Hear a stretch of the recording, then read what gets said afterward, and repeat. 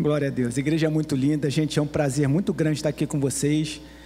É, eu subo aqui com temor e amor. Temor pela, pelo respeito à palavra, pela reverência que eu tenho à palavra de Deus, e amor por tudo que Ele já fez na minha vida, pela transformação que Ele fez na minha vida. Aliás, hoje eu queria falar com vocês sobre transformação. O objetivo dessa pregação aqui é vocês entenderem que vocês que todos nós precisamos ser transformados. Como falava o cantor, prefiro ser essa metamorfose ambulante, não é isso? Do que ter aquela velha opinião formada sobre tudo. A gente não pode se amoldar ao padrão desse mundo, mas a gente tem que se transformar o tempo todo pela renovação da nossa mente. Está escrito na palavra, né? Então, que a gente possa, se você não lembrar de nada da palavra, mas lembrar que você precisa ser transformado e que Jesus é, é, o, é o cerne da sua transformação, já fico feliz. Amém? Glória a Deus. Então vamos lá, gente. Outro dia eu fui preencher, estava preenchendo uma, tinha que preencher uma ficha de cadastro, e aí na ficha de cadastro estava assim, filiação. E eu parei para pensar, gente, uma ficha de cadastro, se eu não me engano, era para pesquisa de plano de saúde e me perguntando sobre filiação. Aí comecei a pensar que tudo na nossa vida sempre perguntam sobre filiação. Por que será? E comecei a pensar, por que, que as pessoas, da onde vem essa questão de filiação? Filiação é para você, é para marcar a sua história, é para te dar autenticidade. É claro que hoje a filiação, ela simplesmente ela aponta para você como pessoa. E aí você vai ter um determinado número, que é o número do seu, CNP, do seu, do seu CPF. Mas lá atrás, a filiação, quando você pedia pai, nome de pai e de mãe, aliás, não era só nome de pai e de mãe, tinha toda a sua descendência, aquilo ali era para ver de qual família que você era, como é que eram alguns aspectos da sua vida, como é que era o, o, a região da onde vinha a sua família, coisas que eram importantes. Hoje já se esqueceu um pouco disso, sobre isso, mas ainda se continua falando sobre filiação. E filiação não somente filiação, mas a descendência também é muito importante. E às vezes a gente fala, a gente mostra algumas coisas da nossa descendência sem prestar atenção. Quer ver uma coisa? Quando eu comecei a namorar com a minha esposa, aliás, a minha melhor metade está ali, gente. Ela não gosta que eu faça isso, mas eu adoro fazer isso com ela. Ela está ali, a minha melhor metade. Nós já temos 92, 14 de janeiro de 92 a gente começou a namorar, então a gente já tem 32 anos que a gente está junto, né? Então, só que quando eu comecei a namorar com ela, ela me levou para casa dela e falou assim: amor, eu preciso te mostrar uma coisa. E veio com uma pilha de álbuns. Aí eu falei: meu Deus do céu. Ela começou a me mostrar foto da família, e foto de tia, e foto de avó. O que, que ela queria com isso? Ela queria me mostrar um pouco da história dela. E a partir da história dela eu saberia melhor quem ela é. E assim somos nós. A nossa história, a nossa descendência, fala um pouco sobre quem nós somos. Ela tinha uma tia, ela vai lembrar disso é tia daquela que é daquela que tinha dinheiro, mas que era pão dura pra caramba. É, é tia é que morava ali na, em Madureira, em frente à igreja, que a tua avó falava sempre. Enfim, ela falava dessa tia, tia era um catiço, gente. A velha tinha dinheiro, mas era pão dura. A pessoa chegava na casa dela, não podia nem tocar em nada. Como é que é o nome? Tia Teté, co, co, ah, sei lá, enfim. Aí eu só ficava assim, meu Deus, ela não pode ser igual essa tia dela, não. eu não quero casar com uma mulher assim. E aí eu fui vendo também pai, mãe, é, outras, avó, avô, e aí eu fui vendo quem Luciane era.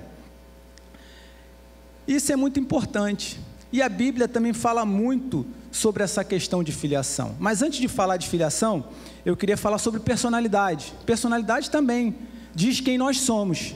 Aliás, tem uma aluna minha aqui que ela já deve ter escutado isso pela, umas 15 vezes, mas vai escutar mais uma vez hoje, né, Dani?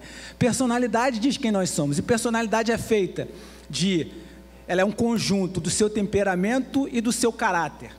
O seu temperamento, ele vem da sua família, ele vem do seu DNA. Temperamento, o que você traz do seu temperamento, ele já vem de você, ou alguma coisa muito marcante aconteceu na tua vida e foi persistente e faz com que você tenha guarde algo. E tem vários tipos de temperamento. Por exemplo, tem Temperamento socrático fala que você pode ser sanguíneo, fleumático, colérico, melancólico, ou seja, você é inato, você já nasce com aquilo. E tem outro tipo também que caracteriza, que classifica em 12 tipos de temperamento. Aí tem lá obsessivo, eutímico, hipertímico, ciclotímico, disfórico, volátil, depressivo, ansioso, apático, irritável, desinibido e eufórico. Isso você traz com você. E isso, junto com o caráter, levam a sua personalidade. O que é o caráter? O caráter é aquilo, são pastas que nem no arquivo já que você tem, que vão, você vai guardando no seu HD e que junto com esse temperamento forma a sua personalidade. 95% da sua personalidade, por incrível que pareça, vem do seu temperamento. 5% está no teu caráter. O caráter vai mudando, porque você pode deletar essa pasta e você pode construir outra pasta. Quando você vai, por exemplo, num psicólogo, você aprende, conhece alguns gatilhos da sua vida, você vai apagando algumas pastas e você vai construindo outras pastas. E aquilo vai melhorando a sua personalidade. Por incrível que pareça, só tem uma coisa que melhora, que consegue mexer no seu temperamento e melhorar bastante a sua personalidade. É um tipo de caráter. É o caráter cristão. Caráter cristão, ele consegue mudar o te... na verdade não mudar o temperamento, mas ele consegue pegar o seu temperamento e transformar esse temperamento para ser usado em prol do reino de Deus. Quer ver uma coisa? O apóstolo Paulo era um obsessivo por matar pessoas. Quando teve encontro com Jesus, ele passou a ser um obsessivo por salvar vidas, por ganhar pessoas para Jesus. Então, o, a, o caráter cristão mudou, mudou a personalidade dele através de uma boa aplicação no seu temperamento. Então, eu queria falar um pouquinho com vocês nessa noite sobre genealogia. Eu queria falar sobre a genealogia de Jesus e o tema da minha mensagem é Jesus, o transformador de vidas. Eu queria refletir com vocês no, no, no, livro de Mateus, no capítulo 1, e a gente vai ler dos versículos de 1 ao 17, só que eu vou pular alguns. Mateus 1, de 1 a 17. A gente vai ver quantas pessoas tiveram as suas, as suas, as suas vidas transformadas por Deus. Amém? Se não, amém, misericórdia. Amém, gente? Glória a Deus. Vamos lá. Deixa eu pegar aqui a minha Bíblia, eu estou com ela aqui, deixa eu ver se eu consigo ler aqui, consigo. Registro da genealogia de Jesus Cristo, filho de Davi, filho de Abraão. Abraão gerou Isaac, Isaac gerou Jacó, Jacó gerou Judá e seus irmãos. Judá gerou Pérez e Zerá, cuja mãe foi Tamar, Pérez gerou Esrom, Esrom gerou Arão, Arão gerou Aminadab, Aminadab gerou Nasson, Nasson gerou Salmão, Salmão gerou Boaz, cuja mãe foi Raabe, Boaz gerou Obed, cuja mãe foi Ruth. Obed gerou Jessé, e Jessé gerou Davi. Davi gerou Salomão, cuja mãe tinha sido mulher de Urias. Não fala o nome de Batseba. Salomão gerou Roboão, Roboão gerou Abias, Abias gerou Asa. Asa gerou Josafá, Josafá gerou Jorão, Jorão gerou Uzias. Uzias gerou Jotão, Jotão gerou Acais, Acais gerou Ezequias. Ezequias gerou Manassés, Manassés gerou Amon, Amon gerou Josias. Josias gerou Joconias e seus irmãos no templo do exílio da Babilônia. Agora eu vou pular, porque senão você dorme. Agora eu vou lá para o 16. E fala assim: E Jacó gerou José, marido de Maria, da qual nasceu Jesus. Vejam bem, não gerou, nasceu Jesus, que era chamado, que é chamado Cristo. Assim ao todo houve 14 gerações de Abraão a Davi, 14 de Davi até o exílio na Babilônia e 14 do exílio até Cristo. Gente, desafiante falar sobre genealogia para uma igreja, né? É um tema chato. Aliás, é, eu estou aqui falando de uma, uma lista que a princípio você fala, gente, é uma lista tediosa de nomes. Falar tanto nome, esse pastor é doido. Vim pregar para mim numa quarta-feira, depois que eu saio do trabalho, cansado, sobre vários nomes: G, G, é, Jotão, Amon, é, Tamar. Para que, que esse pastor doido está falando sobre isso? Eu queria mostrar para vocês alguns nomes que, mostra, que, que nos leva a refletir sobre transformação de vida. Vejam bem, eu vou falar somente alguns nomes. Abraão, pai da fé, né, gente? Mas também foi um grande mentiroso. Expôs a mulher dele. Vocês lembram da história de que ele falou pro pro rei inimigo que a mulher era sua irmã? Ele até ofereceu a, a mulher dele para o rei inimigo. Mentiroso, né? Poderia ter trazido um grande trauma na família dele com aquela, com aquela postura dele, né? Isaac, filho de a promessa, covarde, um grande covarde. Foi, teve dois filhos e, por sua escolha, por sua ausência, acabou trazendo problemas na sua família. Esaú e Jacó nasceram, e aí na linhagem fala sobre Jacó, outro mentiroso, pai omisso, tinha lá seu filho preferido e mimava tanto seu filho que os irmãos ficaram com raiva do filho preferido. Engraçado que esse filho preferido não entra na linhagem de Jesus. Jesus, na linhagem de Jesus, entra Judá. Judá, outro, sexo ilícito, fez sexo com a sua nora. A questão não era nem, ele não sabia que era sua nora, mas era uma, era uma prostituta, ou seja, Judá fez sexo com uma prostituta. Está na linhagem de Jesus. Quem é essa prostituta? Tamar. Era nora, se vestiu, se, se fez de prostituta para poder se deitar com seu sogro. Depois, Raabe, prostituta também. É claro que depois Raabe ela fez, ela, ela, ela deu proteção a espias e fez um grande favor ao povo de Israel. Mas então, até então, não tinha sido transformada, era uma prostituta. Ruth, não tem problemas, mas era pagã. Para o povo judeu, aquilo, ela não era nada, não era ninguém. Aliás, para o povo judeu, a genealogia, para o povo oriental, a genealogia é muito importante. Por isso que Mateus, quem vê The Chosen, entende que Mateus ele é muito detalhista. Algumas pessoas dizem até que ele é autista, que ele era autista, né? Ele é muito detalhista, então ele vai no detalhe da genealogia. Ele apresenta três, é, três grupos da genealogia, três grupos de 14. Mas vamos continuar. Davi, um grande homem, homem de Deus, homem segundo o coração de Deus, depois de transformado, mas antes disso era mentiroso, adúltero, assassino. A mãe, a mulher de Davi, cujo nome é Batseba, que não fala aqui, também uma adúltera, se deitou com Davi ainda casada, casada com Urias. Depois Salomão, idólatra, idólatra, um homem que tinha muitas mulheres, que passou ele, ele, ele se vendeu aos costumes delas e passou a idolatrar o que ele não precisava idolatrar, que era o, o, os deuses com D minúsculo que elas idolatravam. Roboão, um homem violento que matava, idólatra também. Jo, Jorão, idólatra também. Acais, tão violento que matou seus filhos. Manassés, além de violento, idólatra e se metia com ocultismo. Amon, idólatra, injusto, usou de bastante injustiça com o povo de Israel. E aí, ele fala de Jesus, de onde vem a promessa. Ou seja, essa lista tediosa de nomes retrata pessoas como nós, pessoas com defeitos, mas que apontam para um homem perfeito.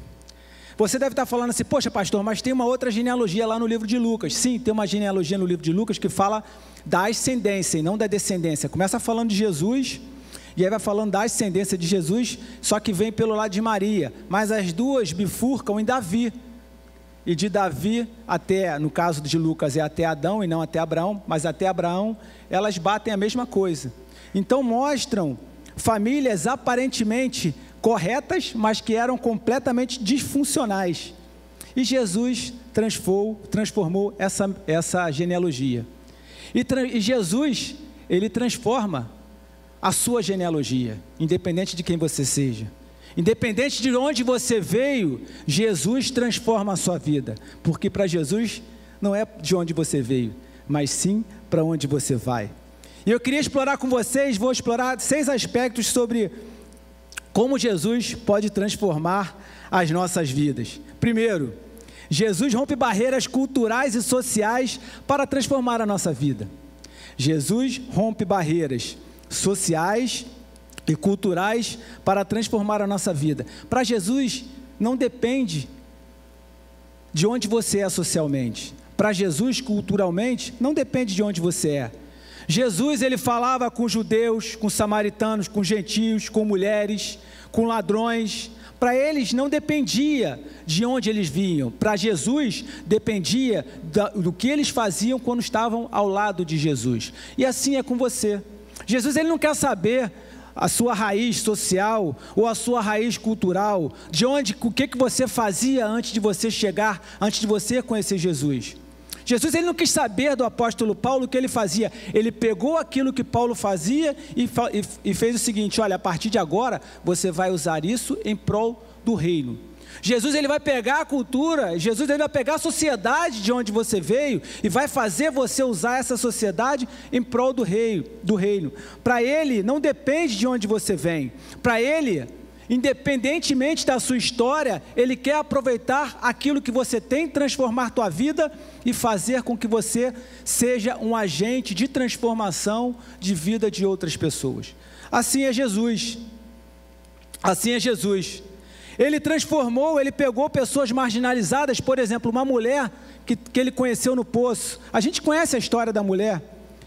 A mulher, hoje a gente fala que canta fonte de água viva. Ele falou para a mulher: Eu sou fonte de água viva. Ele transformou a vida daquela mulher. Aquela mulher tinha tido cinco maridos. E ele falou: Você não teve ninguém. Você não teve ninguém, ele transformou completamente a vida dela. Jesus pegou mulher, pegou mulheres, ele passaram mulheres do lado dele, passou uma mulher que era adúltera, adúltera que ia ser apedrejada. Ele começou a escrever mudando concepções de pessoas que eram presos na lei e falou o seguinte: olha, quem nunca pecou que atire a primeira pedra, não ficou um. E o que, que ele falou para ela? Não importa o que você fez até aqui, vá e não peque mais, não peques mais. Jesus também lidou com pessoas extremamente religiosas, com os fariseus.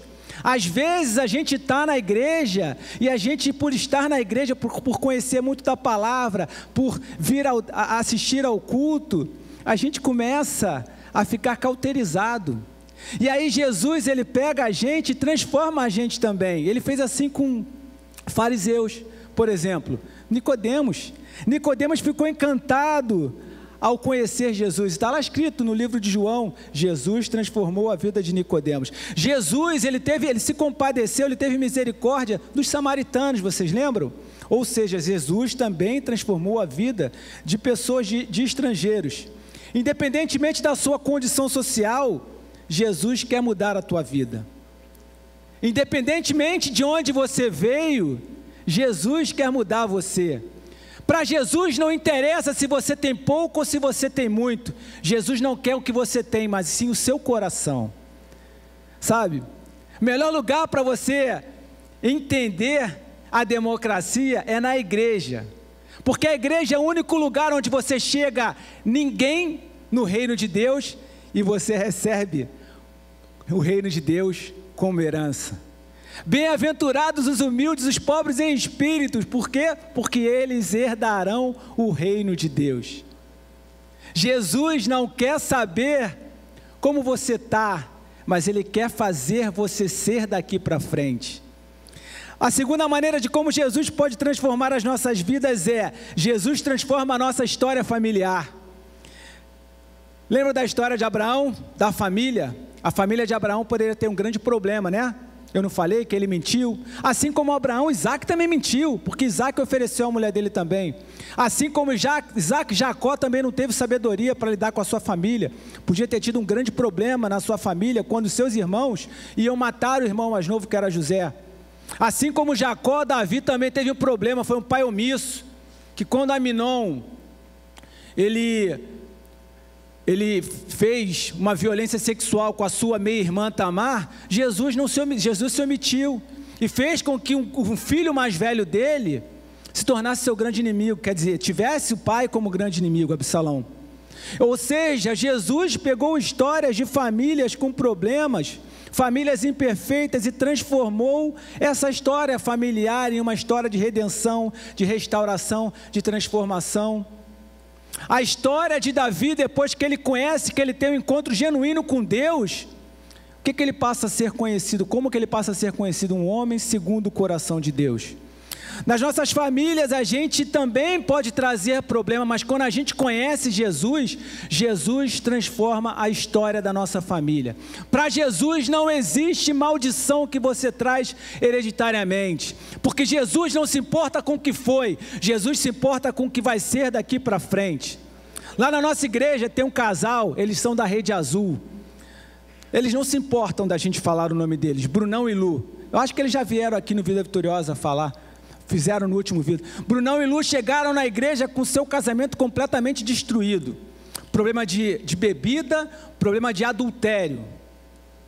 Quando chegaram na igreja, os dois falaram para eles, não se falavam. Chegaram na igreja e ofereceram para eles o Vida Vitoriosa e os dois falaram: vai ser a última chance. Essa é a última chance de eu ficar casado com você. E ele falou para ela e ela falou para ele. Ninguém, nenhum dos dois aguentava mais olhar para o outro. Era problema de adultério mesmo. Problema de nojo. Eles tinham nojo um do outro. E aí foram para o Vida Vitoriosa, tiveram um encontro com Jesus, tiveram sua vida transformada. Transformada ao ponto de hoje eles darem palestras para famílias, falando sobre a transformação que Jesus faz na nossa vida. Não depende da a família de onde você veio, depende, perdão, independe disso, vai ser o que Jesus vai fazer na sua família a partir de agora. Jesus pode transformar a sua família a partir da sua vida. Quantas e quantas pessoas, quando têm um encontro com Jesus, levam Jesus para casa e Jesus transforma a família? No último batismo da nossa igreja, uma criança de 10, 11 anos da Rede Azul. Rede Azul é demais, gente. Uma criança de 10, 11 anos, ela foi para uma célula Kids e ela começou a falar de Jesus na sua casa para o seu pai. Ela ficava incomodada porque o pai dela, quando ela chegava em casa da escola, o pai já estava bêbado.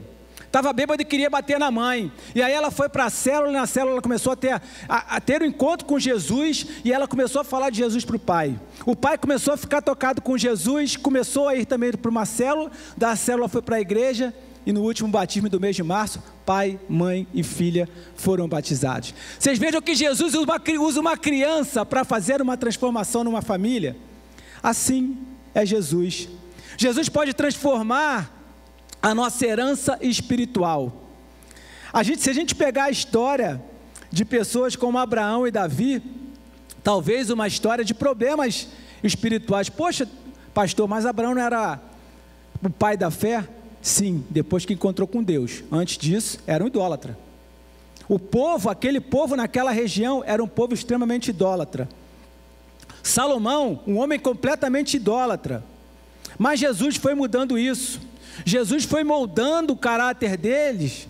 E eles passaram a ter, com o, a, o relacionamento íntimo com, Jesus, com Deus, eles passaram, é claro, quando a gente fala do, de Deus, a gente fala do Espírito. O Espírito estava sobre eles. O Espírito no Antigo Testamento, o Espírito Santo, ele cumpria determinado propósito, determinada tarefa e depois ele saía. Assim aconteceu com Davi. Então, quando eles tiveram esse encontro com Deus através do Espírito, eles foram transformados. E isso foi mudando a família, perdão, foi mudando a história espiritual deles. Agora eu vou falar para vocês um testemunho pessoal. Isso nem a minha esposa sabia que eu ia falar. Minha mãe era mãe de santo. Daquela que faz sete, sete negócios lá, não sei o que, que é. E eu era pequeno. E aí eu tinha que ir com a minha mãe. Todo sábado minha mãe ia para aquele negócio lá e eu ia com ela. Até que um dia eu estava chorando muito. E aí o, o pai de santo falou assim: Olha, ele tem que ficar aqui com a gente o final de semana. Aí lá fui eu. Lá fui eu lá para o encontro com o diabo naquele lugar lá. Fiquei lá, eu tinha uns 11 anos.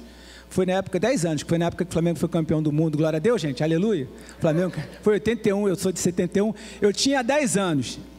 E eu lembro que eu dormia, fiquei lá e botaram um pó na minha cabeça, alguma coisa assim. E aí falaram: a partir de agora ele vai ter a vida dele transformada. Transformado só se for para Jesus. As, conheci Jesus, aceitei Jesus, e você não imagina que eu, eu tenho 10 anos de convertido. Eu me converti no dia 9 de março de 2014. Acabei de fazer 10 anos e já sou pastor na Igreja Batista Atitude. Então, gente, quando a gente encontra com Jesus, não existe maldição espiritual, não existe nada espiritual que mude você. Você pode ser mudado. Você pode ser mudado espiritualmente, não depende de onde você veio. Foi como eu falei, depende do que você é e para onde você vai agora com Jesus. Jesus ele não quer saber se você já foi amarrado espiritualmente, se já houve encantamento, se já houve algum trabalho para você. Não, isso tudo ele quebra. Aliás, isso nem existe para ele, porque o diabo não tem vez com ele. O diabo pede, pede pinico para Jesus, me perdoe a informalidade da palavra, mas pede pinico para Jesus e fala assim: Jesus, o que, que você está fazendo? Para de me importunar. Jesus fala: sai daqui, legião, vai para a manada de porcos. E eles vão. Então, se você tem algum, algum, alguma preocupação com a sua vida espiritual, com aquilo que você foi no passado, isso não importa para Jesus, importa para onde você vai daqui para frente, você tem que estar com Ele. Assim é o nosso Jesus. Jesus transforma a nossa vida e que a gente tenha isso no coração todo dia. Que a gente tenha a renovação da nossa mente todo dia. Que a gente se transforme espiritualmente todo dia. Que a gente entenda que a gente precisa aceitar Jesus todo dia. Você não pode ficar parado na vida confortável, achando que nada vai acontecer. O diabo, ele quer investir contra a nossa vida. E todo dia a gente tem que estar em oração com Jesus. Você não pode ficar na zona de conforto. Hoje eu estava falando com os pastores da igreja, sabe o que, que acontece numa, numa guerra, quando você, quando o diabo, quando o inimigo não atira em você, você começa a ficar disperso. E assim somos nós. Quando a gente não está sendo perseguido, a gente fica disperso.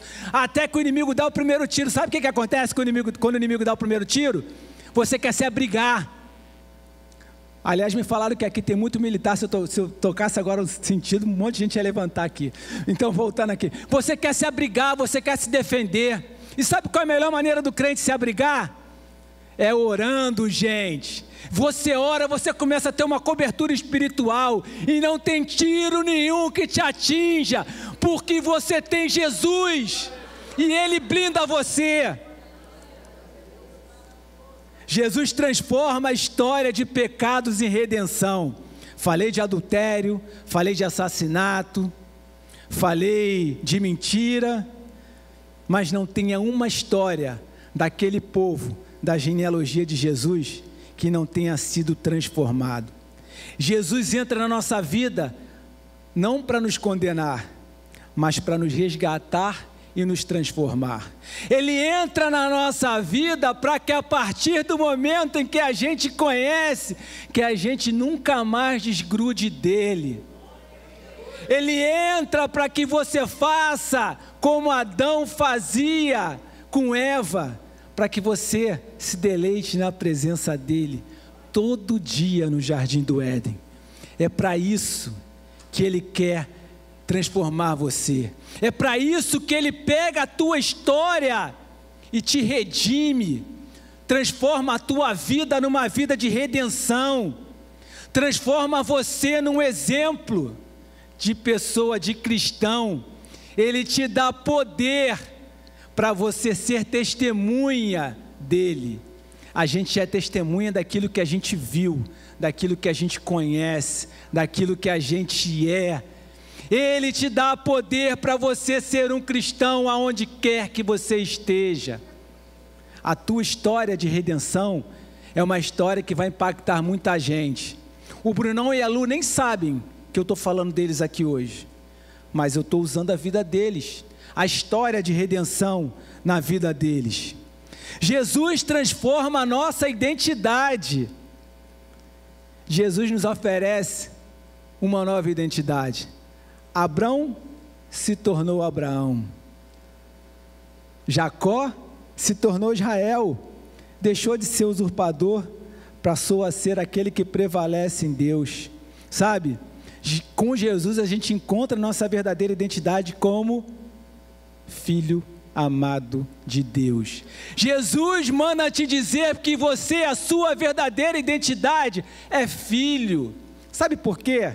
Que quando Deus te escolheu lá no ventre da tua mãe, ele fez aquilo que ele fez com Adão.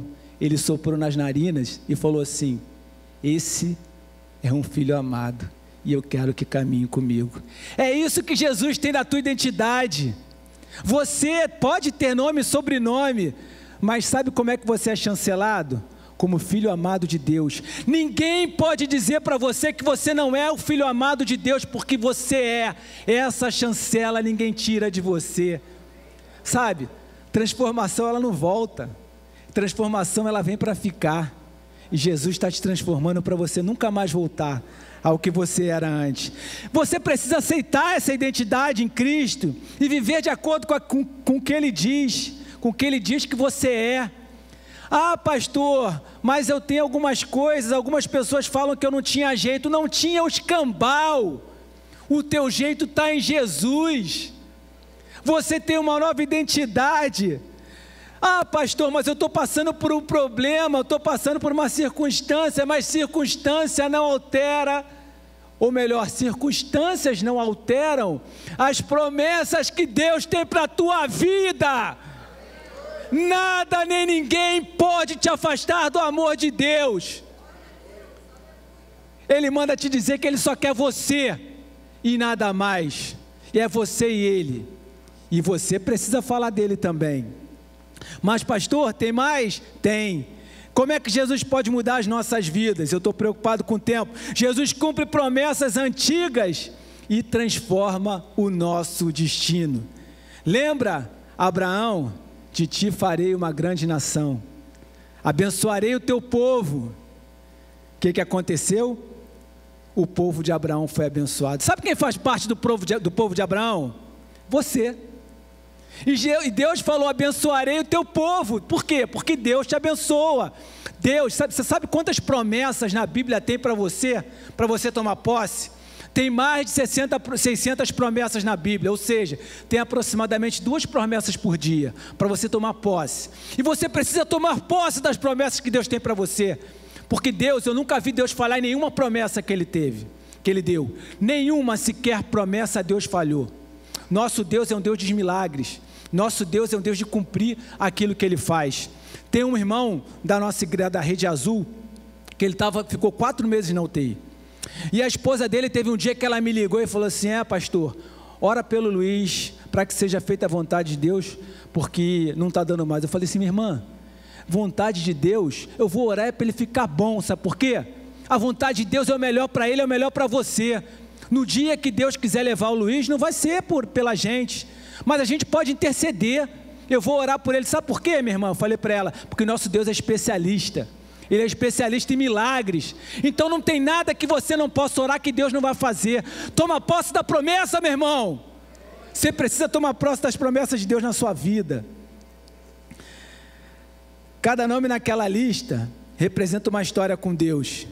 E Deus trabalhou nessas histórias através de gerações, para cumprir a sua promessa no Messias. Isaías fala que Jesus seria o Messias que viria, e assim aconteceu.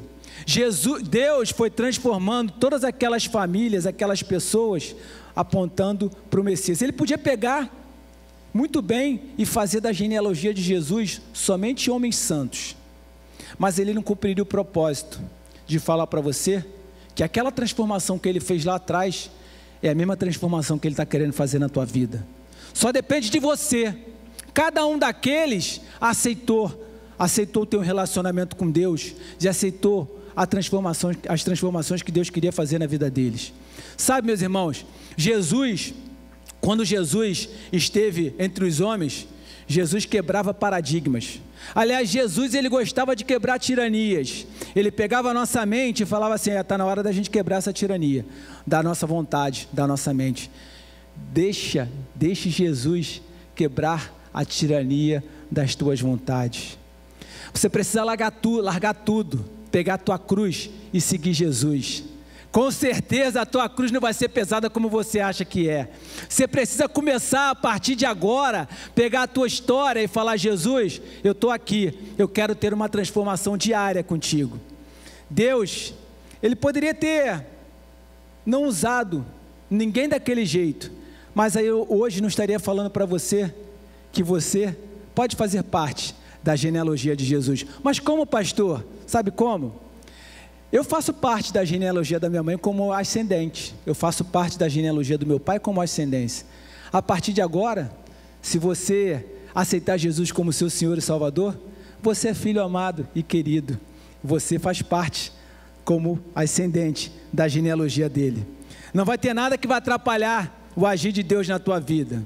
Ele transforma as nossas histórias familiares, ele transforma as nossas histórias espirituais, ele transforma as nossas vidas sempre apontando para Jesus, para que a gente vá desenvolvendo a nossa santificação, para que a gente vá deixando o nosso caráter cristão mudar o nosso o nosso caráter normal. É necessário você deletar algumas pastas da sua mente e colocar as pastas do cristianismo. Só isso vai fazer com que o seu temperamento possa ser mudado para que você tenha uma personalidade muito parecida com Jesus, para que você possa falar assim: eu estou virando realmente um pequeno Cristo, uma cópia de Jesus.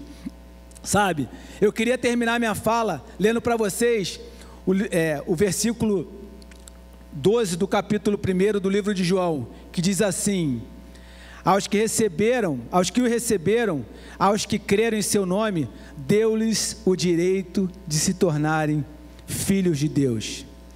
O primeiro milagre que conta no livro de João, de João é, é a transformação da água em vinho. Jesus, quando transformou a água em vinho, ele falou assim: Olha, a partir de agora vocês vão aproveitar o melhor da festa. O primeiro milagre foi a transformação.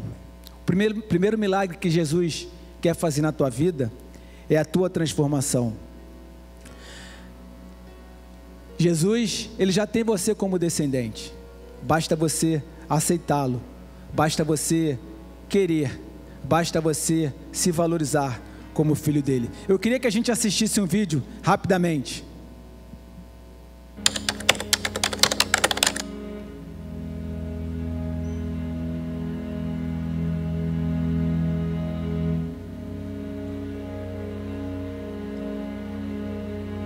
Um dia, o filho vai até o pai e pergunta: Pai, qual é o valor da minha vida? O pai lhe entrega uma pedra e diz: Filho, se você quer saber o valor da sua vida, Pegue essa pedra e vá até o mercado. Se alguém perguntar o preço, não diga uma palavra e levante dois dedos. O menino faz conforme o pai diz e vai até o mercado. Ele caminha por lá e de repente uma senhora idosa se aproxima e pergunta: Quanto custa essa pedra? O menino não diz nada, apenas levanta dois dedos. A mulher diz: Dois dólares eu levo. O filho fica surpreso e corre de volta ao pai, dizendo: Pai, havia uma senhora no mercado que queria me dar dois dólares pela pedra. O pai responde: Filho, o próximo lugar para onde quero que você vá é o museu. Se alguém perguntar o preço, não diga uma palavra e levante dois dedos. O filho pega a pedra e vai ao museu. Depois de cerca de 20 minutos, um homem de meia idade de terno se aproxima do menino e pergunta: Senhor, quanto custa essa pedra? O menino não diz nada e levanta dois dedos. O homem diz: Duzentos dólares eu levo. O menino fica surpreso e corre para casa para contar ao pai. Pai, um homem no museu queria comprar a pedra por 200 dólares. O pai responde: Está bem, filho. O último lugar para onde quero que você vá com a pedra é uma loja de pedras preciosas. Entre com a pedra e, se alguém perguntar o preço, não diga uma palavra. Apenas levante dois dedos. O filho corre para a loja de pedras preciosas. Ao entrar, ele se depara com um homem idoso no balcão. Assim que o homem idoso vê a pedra, ele pula e grita: Oh meu Deus, você tem a pedra que eu procurei a vida toda. O que você quer por ela? Quanto custa? O menino não diz nada, apenas levanta dois dedos. O homem idoso diz: Duzentos mil dólares eu levo. O menino não consegue acreditar. Ele pula de alegria e corre até seu pai. Pai, o homem na loja de pedras preciosas queria me dar duzentos mil dólares pela pedra. O pai diz: Você vê, meu filho, agora você entende o valor da sua vida. A vida é sobre onde você se coloca. Você pode decidir se quer ser uma pedra de 2 dólares ou uma pedra de 200 mil dólares. Existem pessoas que te amam e para quem você é tudo, e há pessoas que apenas te usam como uma mercadoria. Para elas você não terá valor algum. Então, meu filho, cabe a você decidir o valor da sua vida. Obrigado por assistir. Seja abençoado. Teve alguém que um dia colocou um preço para a tua vida.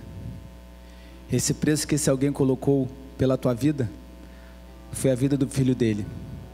Deus, ele te amou tanto, mas tanto, que ele deu a vida do seu filho, para que você creia nele e que você não pereça, mas que você tenha a sua vida eterna.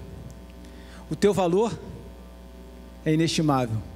Teu valor quem te deu foi aquele que te escolheu quando você ainda estava no ventre da tua mãe. Você quer uma nova história? Você quer uma vida de transformação? Basta você entregar a sua vida a Jesus. Basta você dizer para Ele: Eu te aceito como meu Senhor e Salvador. Basta você dizer assim: é: eu quero, eu sei que eu tenho direito a uma nova história.